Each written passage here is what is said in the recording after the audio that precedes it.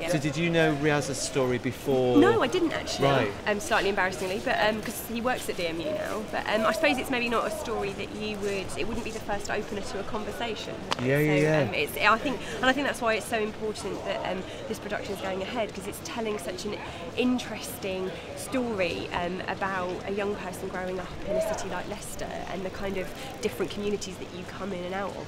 um, Yeah. Through that journey. And I think the play's um, unafraid to be provocative. Yeah. And perhaps to hold a mirror up and remind us of a less um, easy and Yeah. palatable time. Absolutely. And I think, you know, because I think it's, you know, we're here in, right in the heart of Leicester today and, you know, the sort of diversity. Hmm. And the sort of multiculturalism and the sort of vibrancy of the place is, you know, is evident everywhere you Mm-hmm. Yeah. look, and, it, and it's so wonderful to be part of that. But I Yeah. think we, we come at it from a very privileged position because Absolutely. certainly from my point of view, this is the only way I've known this city. Yeah, yeah, But of course, when you read Riaz's story and you learn what it was to be a, a nine-year-old Pakistani boy going on the bus, and Yeah. it was just standard to be racially abused, Yeah. and that was the accepted norm. Yeah. That's a very different snapshot of our Completely city, and Yeah, yeah. um, it's not to say everything is hunky dory today, but it's it's um, it the reminds us. conversation's changed. Yeah, it? exactly. Yeah.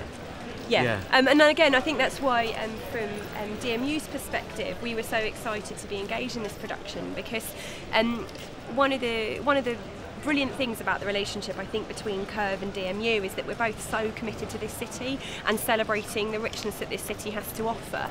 Um, obviously, Curve does that through its productions and its, its cultural output, but um, the university is so committed to supporting that because it's so important. They're important lessons for Yeah. students to learn, and it's great that they can do it in a supportive environment and you know do it down at Curve. It's such a fantastic theatre. You know they get to um, come as part of this partnership and see some of the um, technical rehearsals and what actually goes into putting on Yes. a production, how that Yes. actually works, all of Yeah. the stuff behind the scenes, Yeah. literally behind Yeah, the scenes. yeah, yeah. Um, is is um, it's really exciting for, for students, I think, to come and come and really experience that. Yeah, well, likewise for us. I mean, the energy and the sort of life that, they yeah. bring into the venue is, is extraordinary. That's the magic, isn't it? Yeah, it is. Yeah, and Yeah. the diversity of talents. I mean, you know, it, we've got so many different DMU students sort of working at Curve now or associated with it. Yeah, we've always been a friend of Curve since obviously it opened 10 years ago, as we were celebrating the other day.